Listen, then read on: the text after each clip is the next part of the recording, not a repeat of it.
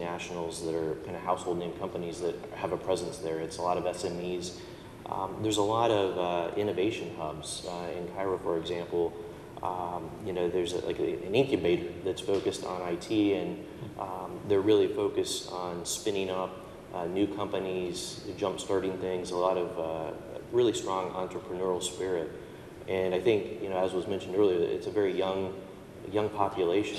Uh, so tech, anything that's has an app, um, you know, those sorts of things are really going to be a strong opportunity going forward.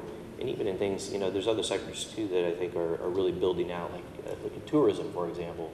Um, you may not see a lot of necessarily American tourists. Uh, I think there will be more American tourists going, but there's a lot of tourism within the region and a lot of Europeans. Uh, again, kind of a hub uh, for tourism. I think that's going to only grow, and a lot of that's on the back of uh, IT and, and, tech, you know, whether it's the, the airlines providing services there or uh, Travelocity and, you know, the, the web expanding the knowledge of, about the different uh, the tourism opportunities there, scuba diving in Oman. I mean, there's just a lot of really, in, going into the mountains, and there's just a lot of uh, very interesting things you can do as a tourist now um, across the Middle East. Again, finding out each locale, each country is different.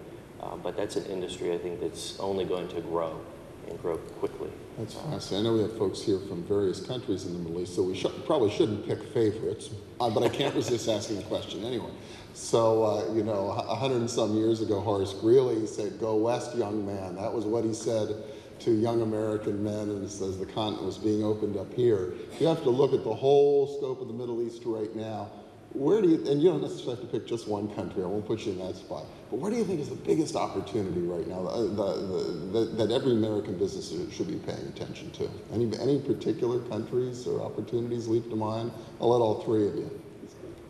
Boy, that's a really tough spot. Um, I, I, I, I'm, I'm, of course, uh, a favor to the, the countries that I kind of work in and cover. And that would be uh, it, it, really any of the GCC countries, I think. Um, you have good governments there, you have uh, robust private sectors. And then I would also have to say um, Egypt. You know, it's, it's domestically, it's the largest country in the region, a population of over 90 million. So you have a large domestic market. And they're making a lot of investments into infrastructure with the Suez Canal and going to be doing a lot of different free zones with that. Um, and then I, I, still believe, and I will always believe, I still am a strong believer in Iraq, and I think there's unique opportunities there again, if you get beyond the headlines. Hmm. Uh, so again, to basically cover the entire region, I think I think there's opportunities throughout. Interesting. Mike, anybody any place to go? I'd say first in, in Saudi Arabia, they have, they have the, the lowest production costs, I think, in the world for oil. Wow. Uh, to get it out of the ground, uh, not offshore but onshore, and so I think they're gonna they're strong. They um, they're spending money on their infrastructure, and I think they're going to be that way into the foreseeable future. And I like uh, Iraq and, and Iran. Hmm. Um, wow, that would surprise so many Americans because the headlines we, are so hard. So we, we have a, a, very strong installed base in Iran, and uh, once once things open up there, I think there's going to be tremendous opportunities for American companies to do business there. Yeah, I, I think you have to look at uh, the demographics and. Um, you know, the, the GCC um, and, and particularly the countries in the, in the east side of the GCC, from Kuwait down to the UAE and Oman, uh, they're all very exciting places to do business. But when you really look at the demographics, the three largest populations in the region are Iran, Saudi Arabia, and Egypt. And um, Saudi Arabia is a place that, uh, you know, I think all of us are engaged in doing business, and they will continue to have a very robust uh, industrial market. Egypt's very interesting for us uh, because uh, you know we're in the water business. We specialize in uh, recycling industrial wastewater, and uh, we've seen a tremendous amount of interest in cleaning up and preventing the Nile from pollution, and that's uh, driving a lot of interesting projects for us.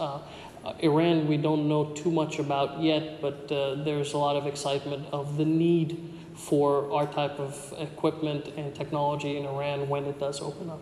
Fascinating, interesting. We're just about out of time, but I, I, promised our panelists that we would wrap this up by giving them an opportunity for a final thought, a final question we've forgotten, something we've missed, or just something else they think every business considering in, investing or doing business in the Middle East should be thinking about. So, Steve, I'll start with you.